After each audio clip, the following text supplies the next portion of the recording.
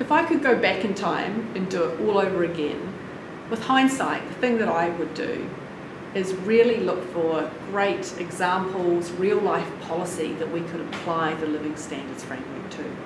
We've spent a long time at the Treasury developing the theory and the concept of the living standards framework.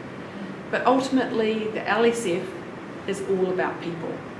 And that means it's about making sure things really happen for people. And that will only happen if you get it out of the book and into the policy.